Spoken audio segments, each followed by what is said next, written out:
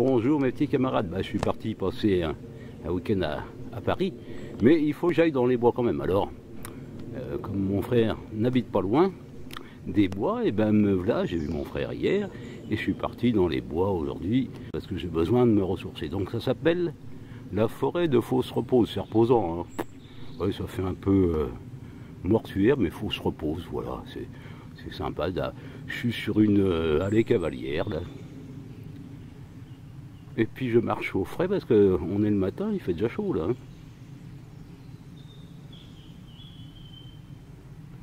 Pas un chat. Comme d'hab. que ce soit à côté de Paris ou dans les Ardennes, il n'y a pas un chat.